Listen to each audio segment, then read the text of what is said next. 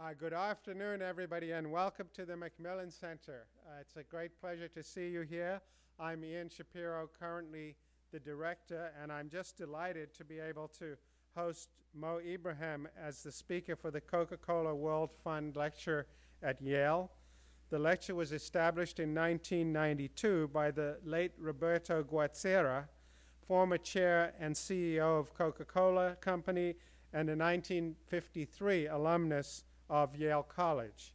The MacMillan Center sponsors the event along with the law school and SOM. Dr. Ibrahim is the founder of Celtel International, Africa's lead, leading mo mobile telephone company. In 2006, he created the Mo Ibrahim Foundation to improve the quality of governance in Africa. I'm sure many of you are familiar with the Ibrahim in Index. Um, of governance, which provides civil society and governments with comprehensive and quantifiable tools to assess governments and to promote accountability. The Ibrahim Prize for Achievement in African Leadership recognizes and celebrates excellence.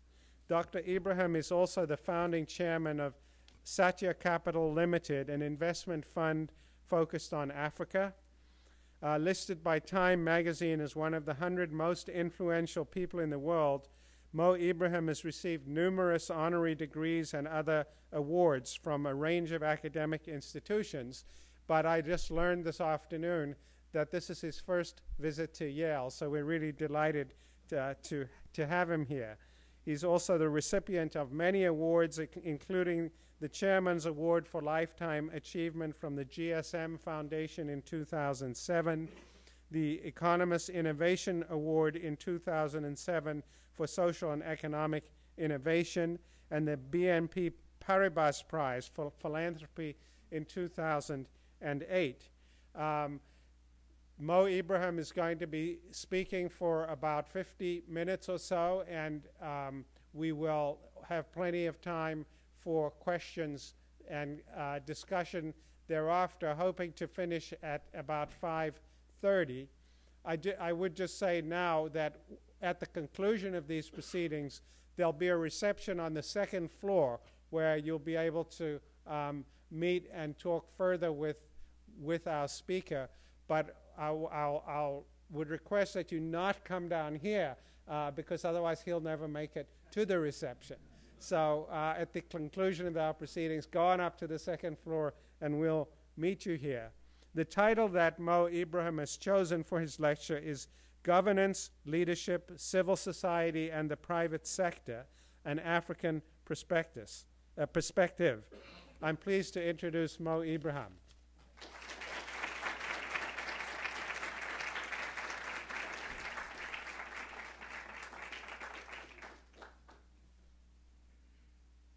Uh, thank you very much, Ian, and uh, I'm really grateful to have the opportunity to come to this wonderful university to uh, speak to faculty and students. Uh, it's a great uh, opportunity. I'm really going to have a conversation with you about uh, our perspective on issue, issues of governance and leadership and private sector, etc.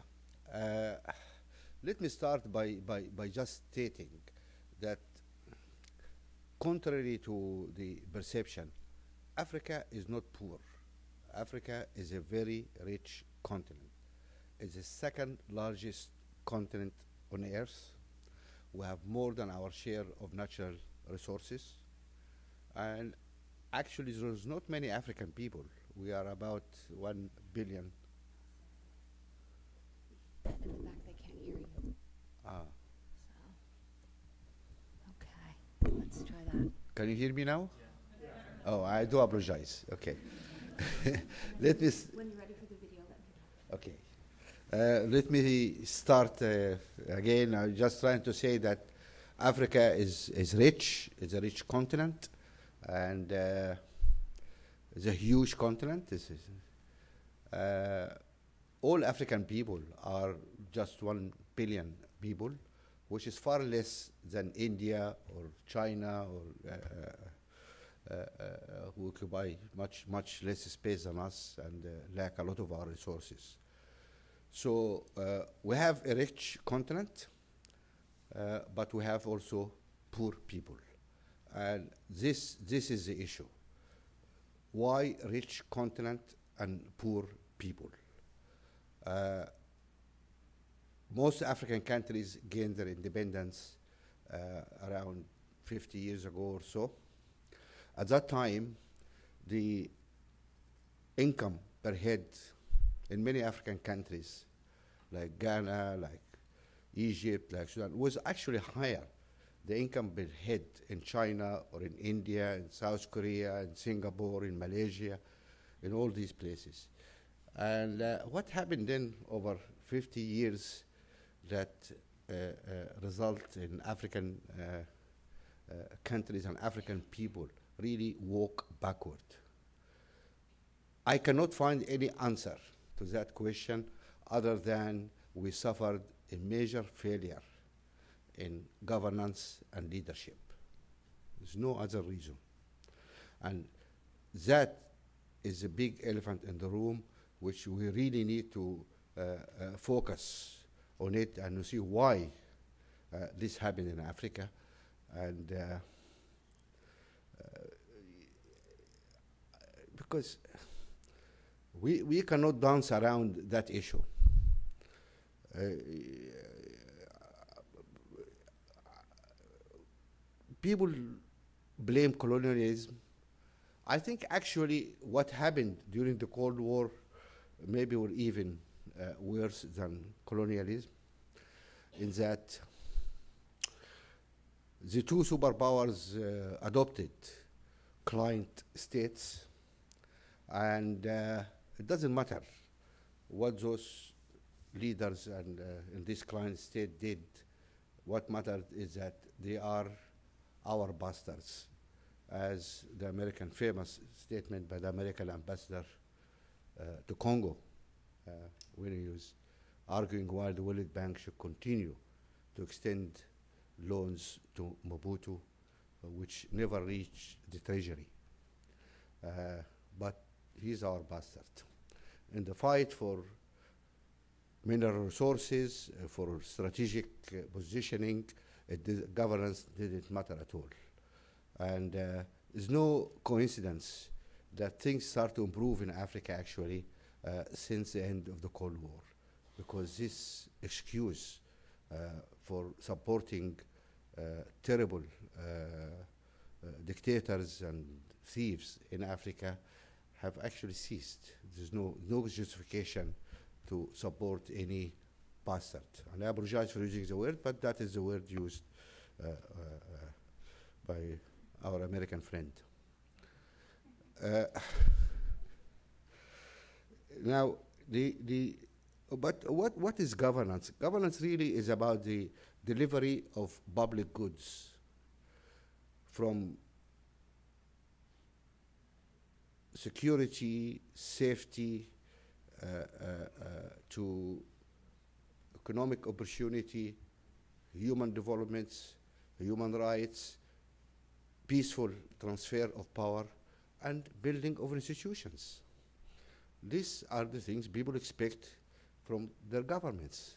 And as such, these are measurable. And what we needed now is really create a scorecard to really measure all these deliverables. And uh, that one reason behind us uh, uh, starting our project on uh, the African Index of Governance. We produce the African Index of Governance as a, an objective scientific measurement of delivery every year. We measure about 88 parameters. Uh, which cover all these elements of governance as a scorecard and see exactly what each uh, government has delivered to its people over that years. How many school seats, how many kilometers of roads, uh, clean water, uh, uh,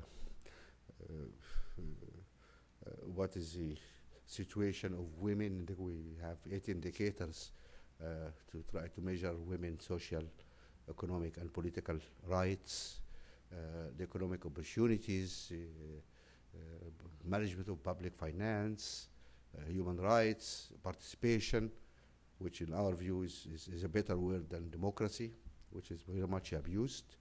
Uh, many people assume that uh, having a peaceful election uh, means you have a democratic society.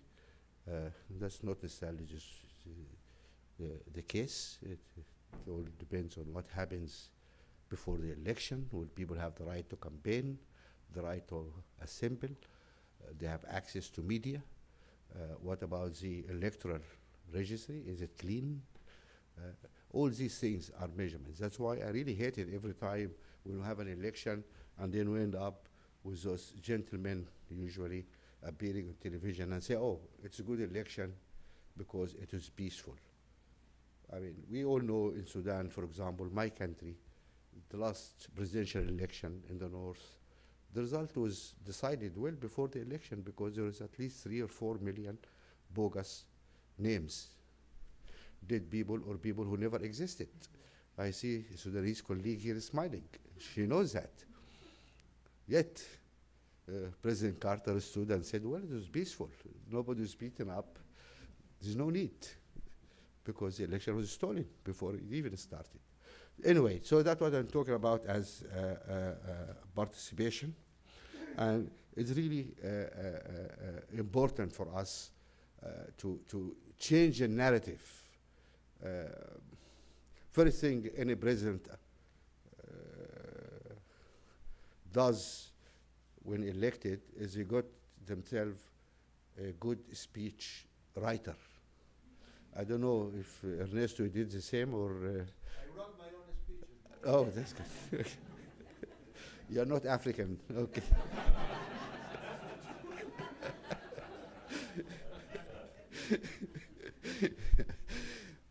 and uh, what we need is really to, to, to, to, to, to say, look, I mean, it's not about writing good speech or uh, good manifesto. What we need is, is, is the food on the table. What exactly have you delivered? Uh, we need to measure that, and that we need to change the conversation from slogans and, and, and uh, uh, all these uh, prose and poetry uh, into real achievements and deliverable for the people. So that's really was the, uh, our objective in, in producing uh, the index. Governance and leaderships are important. Leadership matters. It matters for all of us because there's always a need to take these long-term, tough decisions, uh, which increasingly politicians shy away from. And this is not an African phenomenon. I also think look around in Europe and the United States, and you see why, how people are dodging uh, tough decisions. Uh, look at the issue of climate, for example. Uh, we are jeopardizing the future of our children by not acting because we're refusing to accept a little pain now and we don't care about what severe pain will be inflicted on our children and grandchildren. And uh, that's where actually we lack leadership, where people are able to stand up and make these tough, uh, uh, tough, tough decisions. Uh, leadership matters in Africa even more for a simple reason. We, in emerging democracies, uh, we don't have the checks and balances which exist in a mature democracy. Uh, you have the various pillars of power, whether it is parliaments or Congress in your case, or uh, uh, you have the, the, the, the courts, you have the uh, media, of course. And there is some kind of equilibrium uh, is created here and checks and balances. In an emerging democracy, uh, these institutions are all weak, unfortunately, and you found that the power of the president, the leader of the country, is, is too big, it's too much. Uh, of course, you have the opposite here. Maybe you have a president in the White House who cannot even pass a law to limit, uh, use some checks on gun control or whatever. This is the other side of the coin when you have too much balance and equilibrium and then you end up with no, no decisions. Uh, so what we need is a healthy equilibrium. But leaderships do, do matter. And we always ask uh, the questions. You take a president like uh, Chissano in Mozambique. Uh, he came to power, and the country was in the middle of civil war. Renamo was a very vicious uh, uh, armed group, and uh, there was no end to the fighting, where the country was going to go. So he campaigned hard to convince his own party and his own population that we need to make peace with Renamo. We need to invite them to participate in the democratic process. Let's liberalize the economy, end one-party rule, and uh, end civil war. And that saved the lives of millions of people. What would have happened if President Bashir in Sudan followed that example? Would have saved 300,000 lives in Sudan, and how many people are killed right now in South Kordofan and elsewhere? These are the kind of decisions uh, people can make and can save lives. That's really important. And this is the issue of, of, of, of leadership. And that's why we decided to introduce this prize for leadership in Africa uh, to really celebrate the leaders who come forward and make change, really change the dynamics in their country, take millions of people out of poverty, and and and and and and, and, and these are heroes, and we need to recognize those heroes. Africa, unfortunately, has always had uh, bad press the perception of Africa always is that of uh, uh, a sick continent ruled by military or, or crazy people. Uh, when you ask people what you think of Africa, people immediately think of uh, refugee camps and uh, feeble, starving children.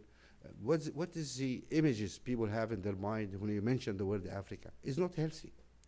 And sometimes it goes against the grain because, you know, African people are very healthy. Uh, they, are, they are not sick or, or, you know, it's true. I mean, if you watch the Olympics last year in London, you know, African guys, uh, you know, won everything.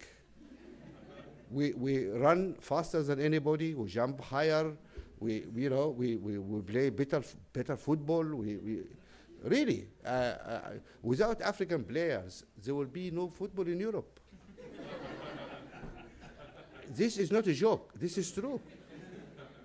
Uh, you know, I, I, was, I was in South Africa during the, the, the, the, the World Cup a few years ago, and South Africa was playing France. And as an African and a guest in South Africa, I thought it's my duty to support uh, South African team. And I had a problem because I couldn't know. I, did, I couldn't find out which team was South Africa, which is, because they're all black guys. and really, there's like eight players out of 11 in the French team who are black. Same number like in South African team. So I said, who's the African team here? and uh, so this is Africa. Why, why, why, why we have that uh, uh, uh, false impression uh, about Africans? I think we need to correct that. And uh, I always had arguments with my friends in Save the Children Fund and Oxfam and in raising funds, always in Christmas, they bring all these terrible pictures of starving kids and, and, and, and, and, and mothers in, uh, hopefully, you know, because they need to raise funds.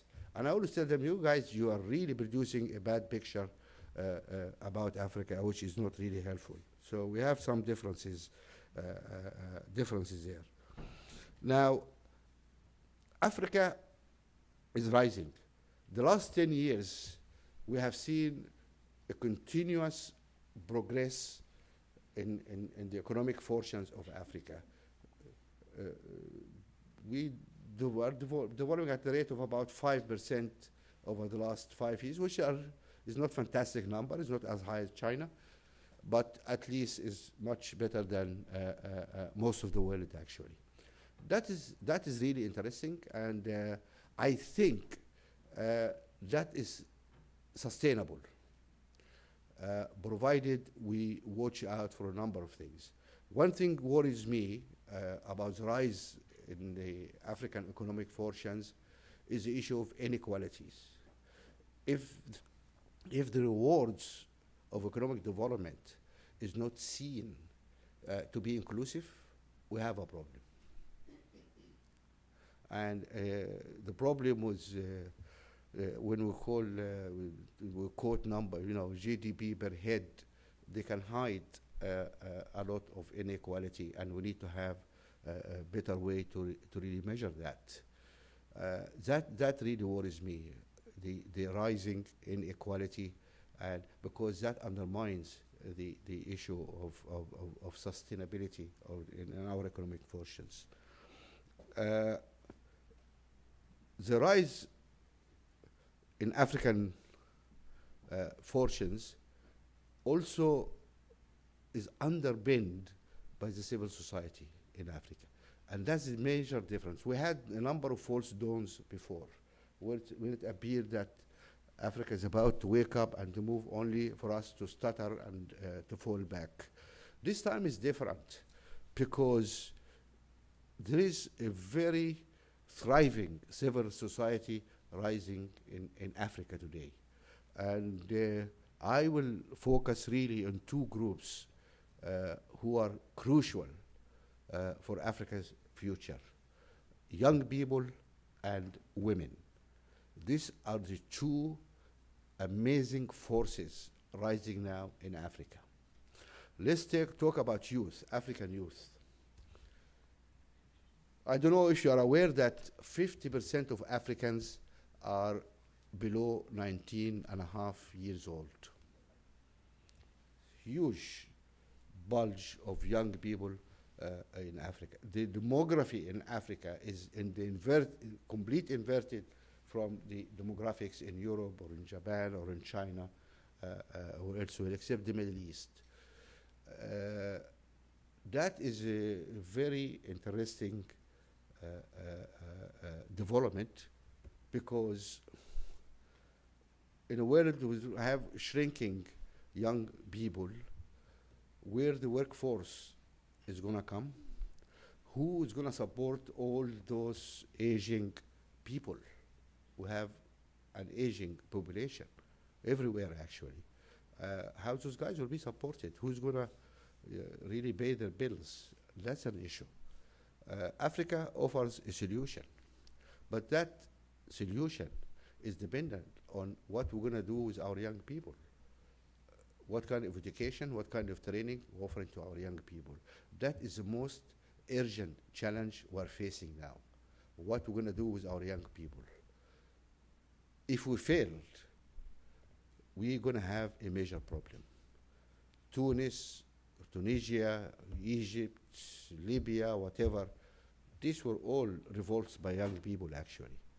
Uh, and we're going to see more uh, uh, uh, upheavals in the region if we fail to do that. We're going to see more makeshift boats carrying young people sinking in the middle Mediterranean trying to reach Europe, which is something we really need to avoid. So the education and training of our young people is very important. And uh, I was mentioning to Ian early on that one strange statistics we're looking at, it says in Africa, if you are more educated, you have less chance of getting a job. And that's a very strange uh, statement. And it raises the question of what exactly are we teaching and training our young people? Uh, are we completely disconnected from the business, from life, from job market, or what?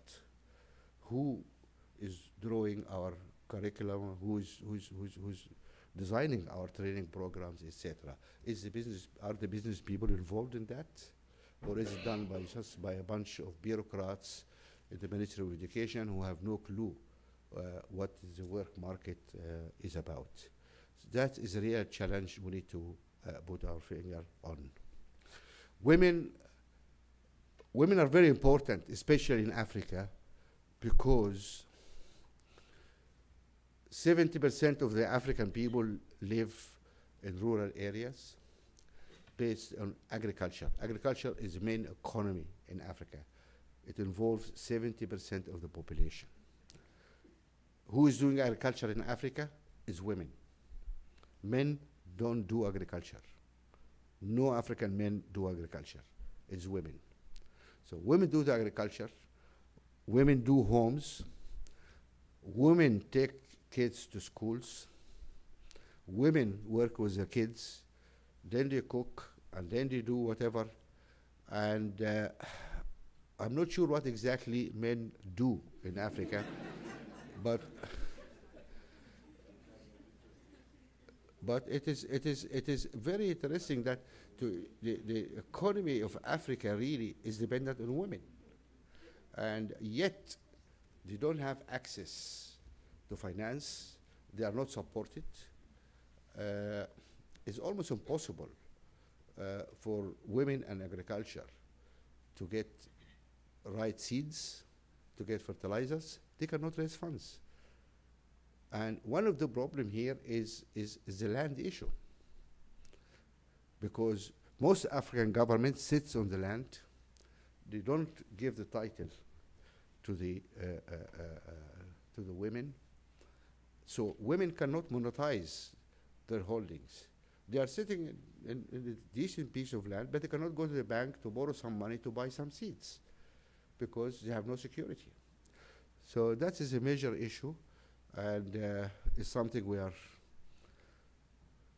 arguing and campaigning for with the African government, really to to to to to to, to, to, help solve this uh, uh, uh, this issue of how we modernize our agriculture, which is extremely uh, promising.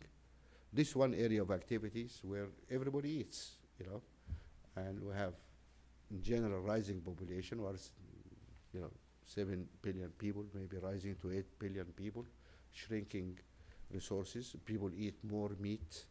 Chinese discovered meat, and God help us, because meat takes huge amount of resources to produce a kilogram of meat.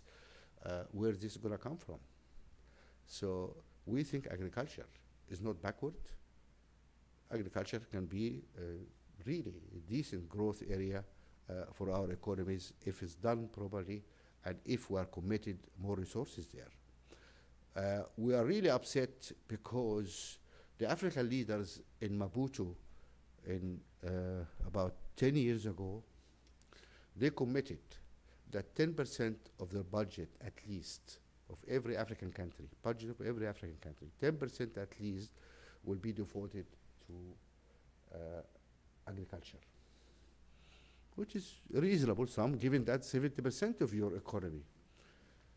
And last time I checked, there were only about seven or eight countries who fulfilled that.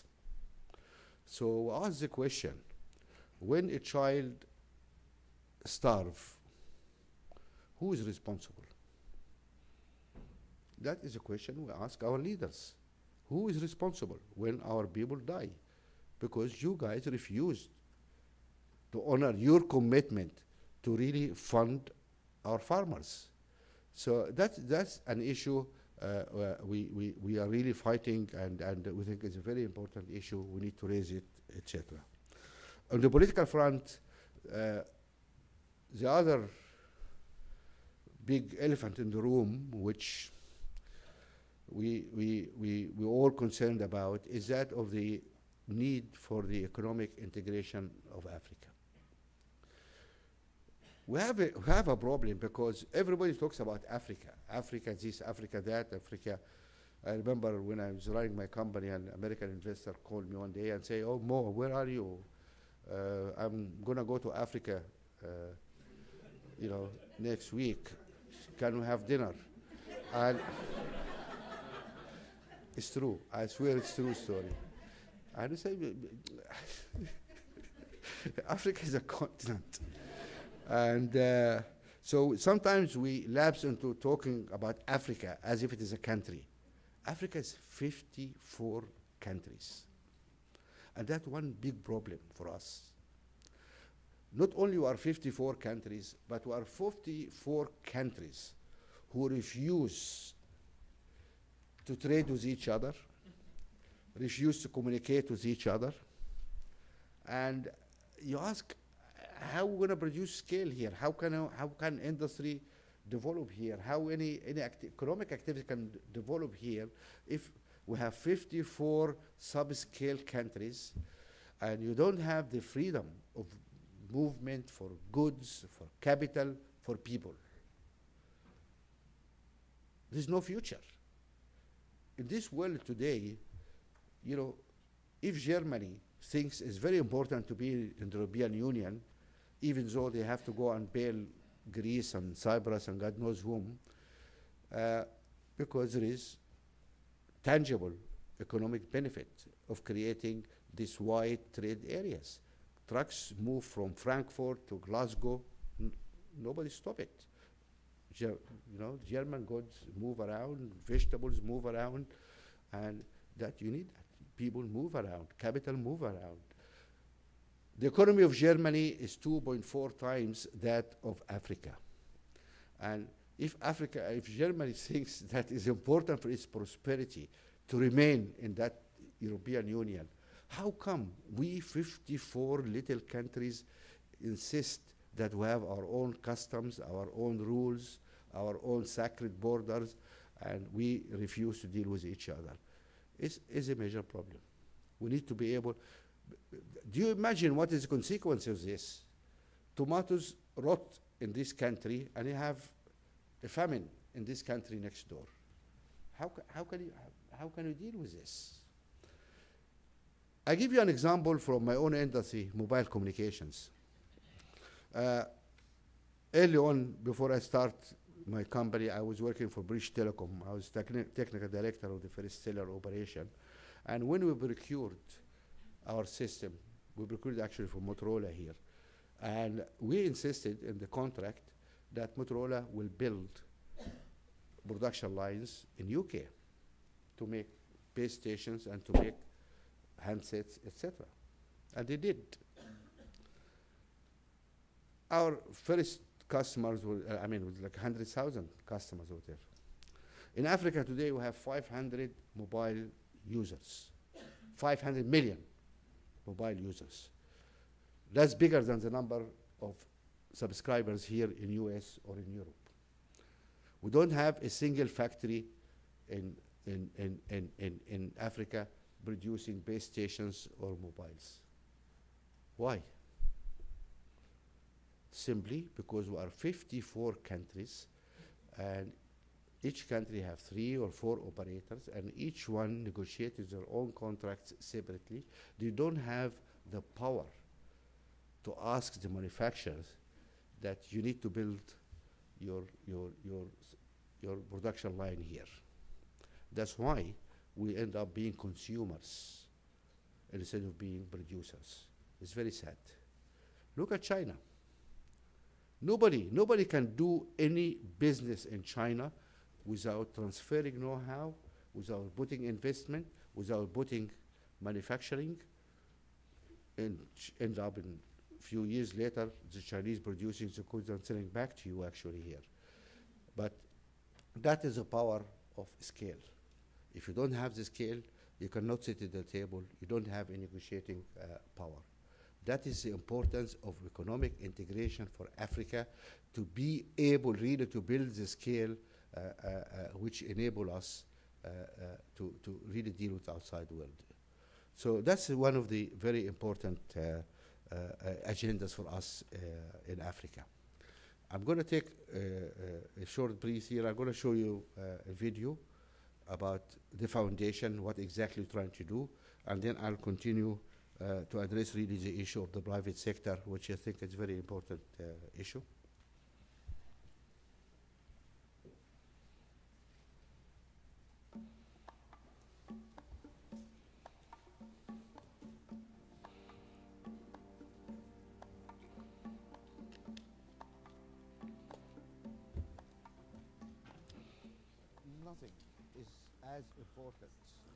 Ensuring the quality of governance and good leadership in Africa.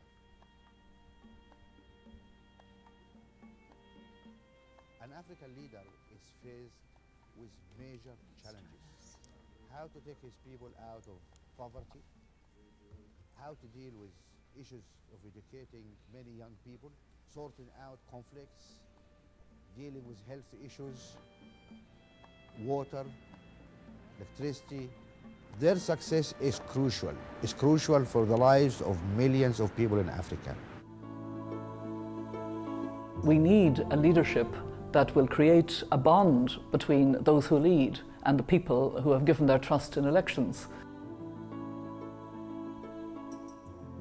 Leadership is important everywhere, but especially so in Africa. The tasks facing leaders in Africa are challenging, and the lives and well beings of many millions of people depend upon the performance of those leaders. It follows that we should strive to recognize and reward those successful leaders who are able to deliver tangible results for their citizens. Our African continent is rich in the diversity of its people. It is rich in its resources and it is rich in its potential. Our continent is beginning to fulfill this promise. I am Mo Ibrahim. I'm a Nubian from Sudan, so I'm an African. I'm a businessman who was involved in uh, building telecom infrastructure in Africa through Celtel, uh, which is success story. I think we prove the point that people can do clean business in Africa, help create jobs, create prosperity, build infrastructure, and uh, also can be profitable.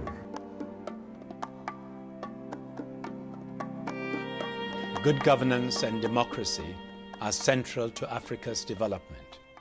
Without them, it will be hard, if not impossible, for any African countries to reach the Millennium Development Goals by 2015.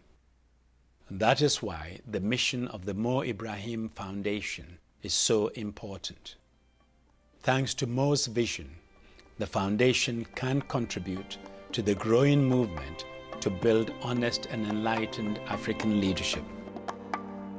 Mo Ibrahim has established the Mo Ibrahim Foundation to develop criteria for good governance, stimulate a public debate, and challenge the continent's leaders to set the global benchmark on this issue. We really want to support the African leadership and we want to reward achievement. We want to celebrate success of African leadership. We are going to offer the largest prize in history, the largest prize in the world for those successful leaders who manage really to take these people forward. Nothing is more important than that.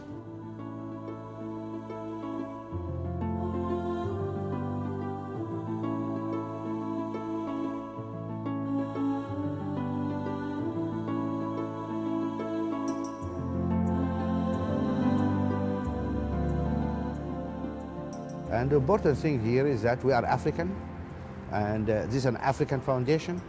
It is an African money. This is Africa doing its own business. It's time for us to really look back into Africa and do something ourselves. We cannot just sit there and expect the world to come and do things for us. And uh, so it is in that context we are launching really our foundation. It's wonderful that somebody of the caliber of Mo Ibrahim, a successful businessman, feels so strongly about Africa and about leadership in Africa. I wish the Foundation much success in its important work, and I thank Mo Ibrahim for the leadership that he is demonstrating, the prize for which will be one we can all share a better and brighter future. May your initiative inspire and celebrate the best of African leadership and equip future leaders with the knowledge and experience they will need.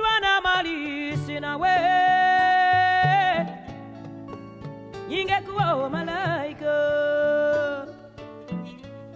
nashindwa na mali Yingekuwa malaika.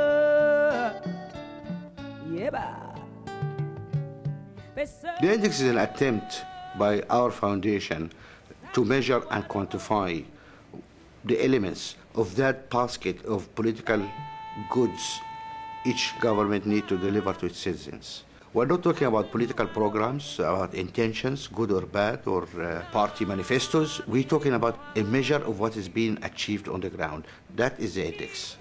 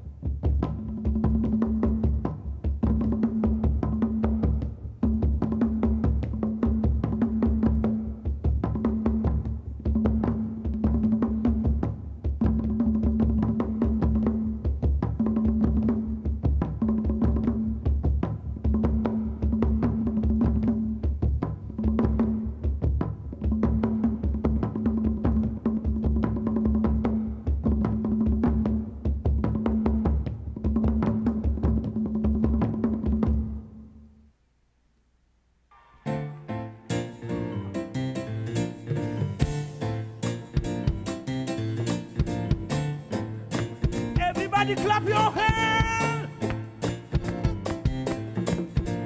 Set, setori, ni set, set si sa xeloi, ni set, set si sa jofo. And it is really wonderful to see so many friends around here today. It warms my heart. We are proud to be the Foundation's honorary laureate, and we accept it on behalf of all of those across the continent.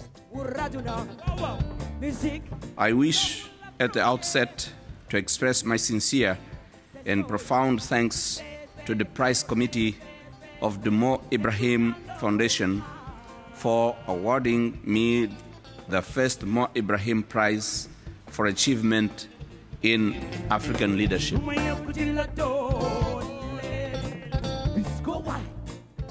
I am honored and humbled by the bestowal upon me of such a prestigious award. The Prize Committee believes that President Pedro Verona Pires is a worthy winner of the 2011 Ibrahim Prize for Achievement in African Leadership. Ni set, setori,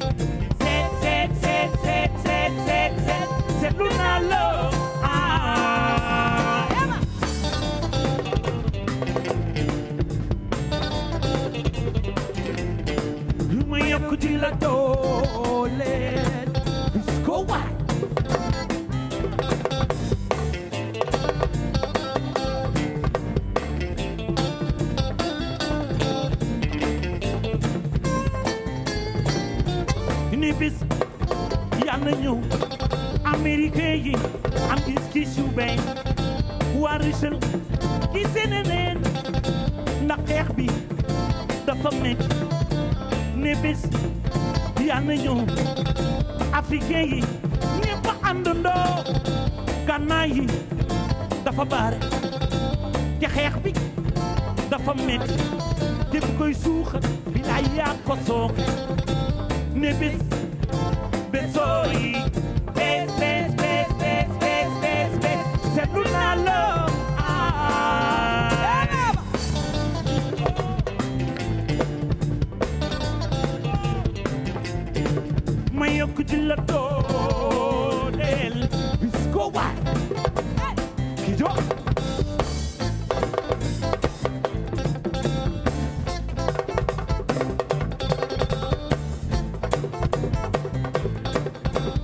Hello, hello, ladies and gentlemen. I think you had too much fun. It's time to do some work.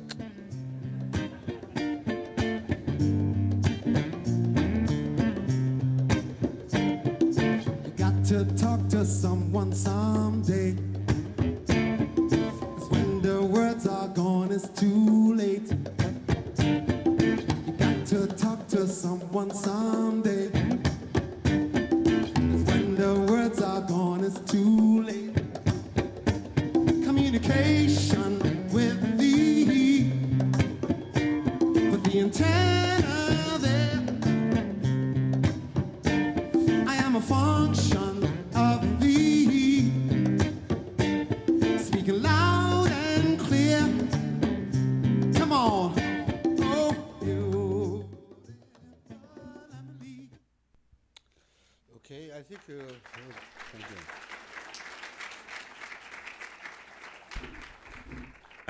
I think I had a flavor of the way uh, we work. What what is the main uh, uh, uh, work of the foundation, and maybe you notice there's also a lot of music and uh, informality about what you do. That's very important because governance doesn't need to be boring. and the events are carried live by satellite actually at least 30 countries uh, uh, put that out live at, at, uh, at peak, peak hour 7 o'clock in the evening. And we want young people to watch and listen what's going on in these meetings. And uh, this is some of the best music in Africa. We think music and art is, is an integral part of our work uh, to really galvanize and attract young people to uh, our work. Uh, now I need to say a couple of things really about the role and the issue of the private sector. Let me start by saying that private sector is essential for our prosperity and our growth. Private sector business is about creating jobs, creating wealth. That will be the engine which moves, moves Africa forward. And uh, last year, a friend, a good friend of mine actually, uh, was we were having dinner, and he he he turned to me and said, "You know what? You know, I was just coming from a trip, going to another trip, and was."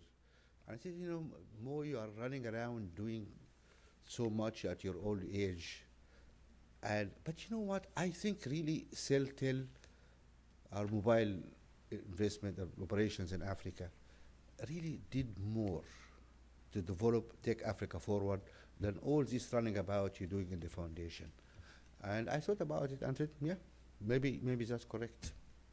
It's created so many jobs, pushed the GDP forward, connected Africa. That's, that's, that's wonderful. That's the power of business, actually.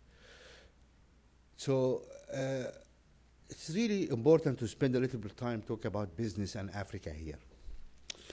Uh, having conceded the important role of the business people and the business in Africa, I think we need to also talk about a few things here. Business people are at the forefront uh, when we come and talk about corruption and governance. And uh, they always demand the right climate for investment, how it's important. And we give presidents hell uh, when we see they are really impeding investment by whatever nonsense they are doing. Uh, but I think it's only fair to really ask business people to live up to the same standards they are asking of public officials. Let me start by saying here, for every corrupt official, there is at least 12 or more corrupt business people. Correct? Politicians don't bribe themselves. that is not a good idea, I guess. So, who, who's the other party? This is a crime committed by at least two consenting adults. So, who's the other party? It's really time to raise this, this sort of question. And it's only legitimate that in the same breath as we are asking for good governance from our leaders and our officials to ask for good corporate governance also from business. Because it's impossible for us to achieve good governance in public life unless we had good corporate governance also. That is very important. And it's time to have a serious conversation about this because that is a subject which people don't talk about uh, much, unfortunately. So I, in Europe, I mean, I, I just I want to mention Europe here because sometimes we, we, we feel really exasperated about European attitudes to corruption. Uh, United States actually uh, uh, played a very important role in the fight against corruption, and they passed Corruption Acts, I think, in 30 years ago or, or more. But what's more important is they acted. Every week or other week, you hear about a case. They take people to court, they fine companies, they act. Europe did not introduce laws against corruptions until the year 2000. Until the year 2000, it was absolutely legal to corrupt any official anywhere. Not only it is legal, it is also tax deductible. it is called business expenses. Can you believe that? The year 2000. Under pressure from the OECD, European countries introduced laws against corruptions. And 10 years later, we ask how many prosecutions took place in Europe. So all our friends, all those leader politicians in, in, in Europe, when they stand on their soapbox and lecture us about corruption, we ask them, are you really serious, guys, or is it a joke? How can you have a corrupt leader in Africa without having corrupt leaders in France or in UK or in Germany? You guys did not prosecute anybody. So you are saying they are corrupt free. So what are you talking about? The Americans are, are prosecuting people. And Europeans say, no, we, we don't have corrupt business people here. So then we don't have corruption, which you know and I know is not true. So we really always asking the Europeans, our friends in Europe, to really stand up and, and, and, and apply their own laws. Uh, that is uh, uh, something really uh, we need all to campaign for. I was very delighted when the United States introduced the the Finance Act and the the the Lugar uh, Cardin amendment, which forces all energy companies to declare their contracts because I don't know if you are aware, it was a habit that major oil companies and gas companies have these massive contracts in Africa and elsewhere, and these contracts are secrets. Actually, we found out in some countries, even the finance minister doesn't know what is being paid for his country's oil or gas, when that is the main source of revenue in that country. What does it mean? It's obvious. What does it mean? Yet these great companies insist in secrecy. Fortunately, the US did the right thing and introduced that. Although some oil companies, I understand, are taking SEC to court. Uh, of course, it's not them, but it is the American Petroleum Institute, which is funded by these oil companies. And uh, the main argument was that will disadvantage us in the United States, which is a very strange argument, you know. This guy is criminal, is a thief. If I'm not allowed also to be a thief, you know, then you are disadvantaging me. What kind of argument is that? Uh, anyway, there was a successful campaign in Europe, and last week the European Parliament introduced a matching resolution, a law, uh, which now takes the wind from the sails of those guys. they cannot win their case now because even Europe now says each company must produce country by country, project by project, project reporting. That's very important. Transparency is very important. And this takes me back to the issue of corruption. Actually, the best way to look at corruption, not through the exotic stories of, you know, this leader take a million, this guy take two millions or whatever. Let's look at the whole issue of the illicit flows of funds. That's a that's that's big issue. Actually, corruption contributes about five to six percent, only five or six percent of the total of the illicit flows of funds. So what's happening actually there? What's happening? What's the 95%? It's very interesting. We have about 30% of criminal activities, drugs and stuff like that. But then the bulk of this money actually is mispricing, tax evasion by corporations, which never pay taxes in the jurisdiction where activities took take place. And that is a big issue. Because the total amount of aid to Africa is about 30 billion dollars a year. The amount of illicit funds is about seven or eight times this amount of money. So the question here, who is aiding whom? That is the issue we need really to, to, to discuss and we need people to be aware of. These crimes which committed by our major corporation by avoiding paying their taxes where the activities took place actually.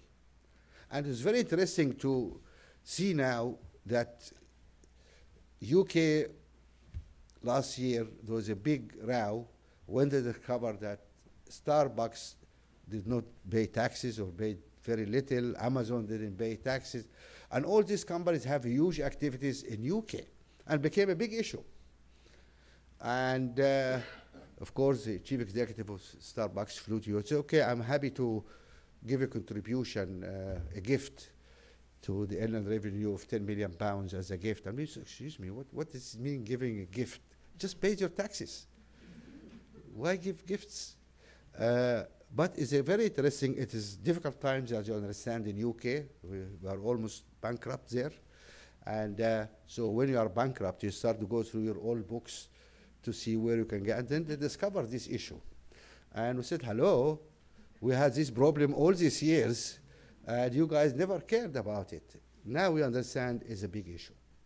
That's something really need uh, uh, to do something with it.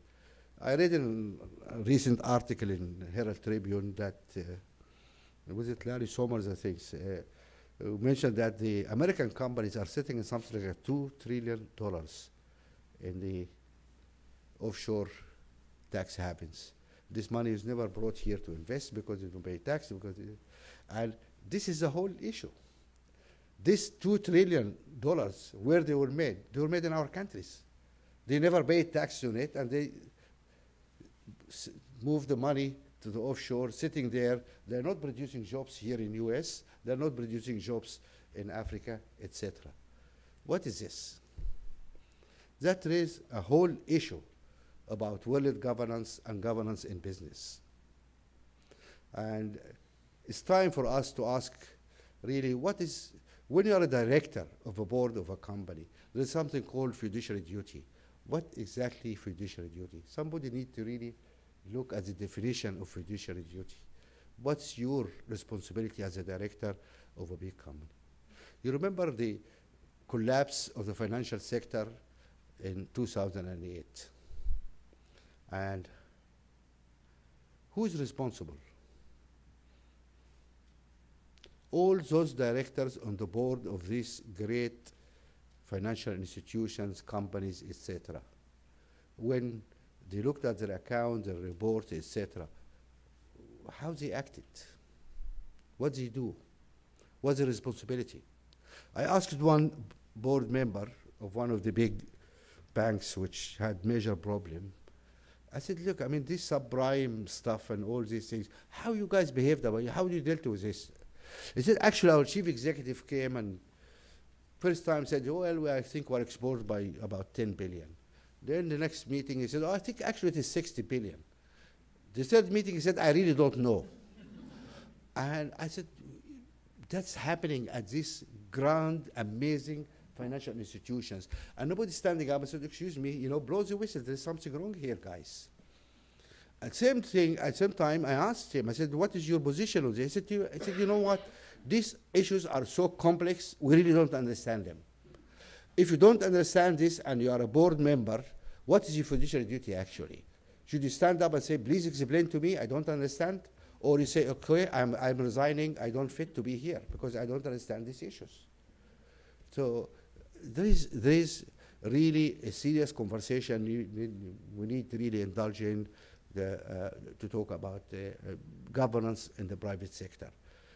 It's not acceptable what's going on there, and it's time to really address that. And the problems have reduced. The number of people lost jobs, the collapse of the economies of some countries is a huge price to pay for that incompetence and that uh, uh, uh, lack of governance in our financial sector, and it's just not acceptable. And what have we done with this? Still, we have people around who are too big to fail. Yes. You remember big, too big to fail? Then we forgot about that conversation and we moved on. And still, we have those guys too big uh, to fail. When the regulator here fined HSBC one and a half billion dollars or something uh, recently, last month, for money laundering, which continued for 10 years. It's a very interesting uh, part of when you read what happened there. They said they have issued no less than 35 warning to the bank about money, money laundering, yet nothing happened, continued. Uh,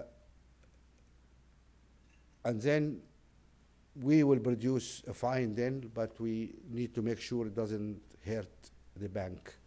So you ask the question, what does it take to withdraw the license of a bank? What you need to do?